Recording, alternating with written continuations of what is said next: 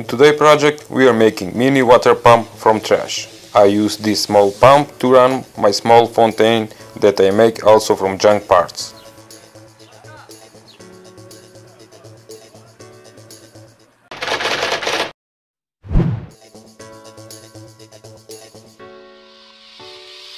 Okay, first of all we're gonna pull out this small DC motor from old toy. Next you will cut off two soda caps from plastic bottles. Also you will need to cut thin pieces of plastic for making the impeller. You will need two pieces 0.6 by 0.4 inches.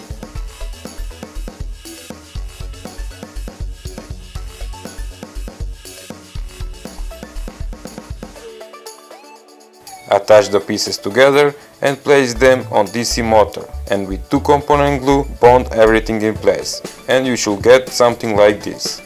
Before placing the motor into the soda cap I am checking that everything works great.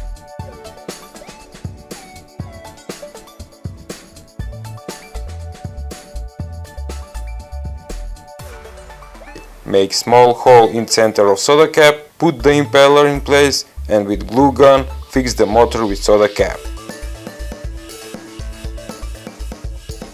With soldering iron I am making hole in which I will put one piece from pan and once again glue with epoxy.